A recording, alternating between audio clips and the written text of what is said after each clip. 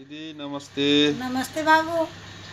आज अन्तर्राष्ट्रिय महिला दिवसको अवसरमा तपाईँलाई शुभकामना छ। त्यसको निम्ति भाइलाई धेरै धेरै? धन्यवाद।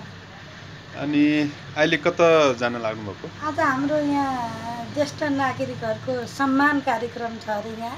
हजुर बजारमै हजुर। त्यहाँ पनि अलिकति उपस्थिति हुन्छु र आज हाम्रो जीविसमा हामी महिलाहरूलाई जनप्रतिनिधिहरूलाई चाहिँ स्वागत सम्मान कार्यक्रम छ। म त्यहाँ ए आज जेबीसम्म पनि जाँदै जीविसमा हुनुहुन्छ पनि छ र काङ्ग्रेसको पार्टी कार्यालय कार्यक्रम शुभ। नाम के भयो? मेरो नाम प्रतिभा विश्वकर्मा पोखरेल हो। मेरो। घर यहाँ राम बजार वडा नम्बर दस।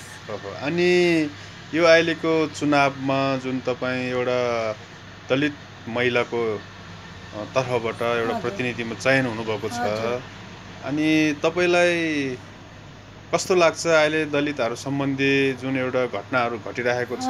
र तपाईँ आफ्नै तर्फबाट पनि त्यस्तो केही प्रयासहरू भइरहेको छ होइन कि त्यो घटना घटेको बारेमा म आफै दुखित छु कि।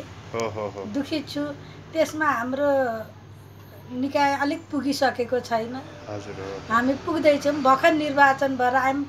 केही पनि मिलिसकेको थिएन क्या हाम्रो परिपाटीहरू मिलिसकेको थिएन। अब अहिले मिलेको छ सहज भएको छ। हामी त्यसको निम्ति अघि बढ्ने हाम्रो प्रयास जारी छ। जस्तो कि अब तपाईँ एउटा दलित समुदायबाट तपाईँ चुनिनु चयन हुनु भनेको चाहिँ एउटा समाजमा भएका हजुर मेरो। दलित माथि भएका उत्पीडनहरूलाई कम गर्ने त्यसको भनौँ न विरुद्धमा जसले त्यस अपमान उत्पीडन बिहोरिरहेको छ उसको। पक्षमा हामी त्यसको निम्ति। त्यसको निम्ति हामीले चाहिँ ठाउँमा पनि कुरा पुऱ्याइरहेकै छौँ। हजुर। सम्बन्धित निकायमा।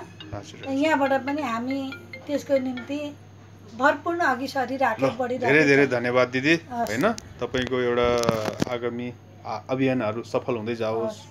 र विशेष गरी दलितहरूमाथि भएको जुन एउटा विभेदहरू छ त्यो। अन्त्य होस्। शुभकामना छ। धन्यवाद यसको निम्ति बाबुले यस्तो अन्तर्वार्ता लिइदिनु भयो त्यसको धेरै धेरै धेरै धन्यवाद छ स्वागत छ दिदी।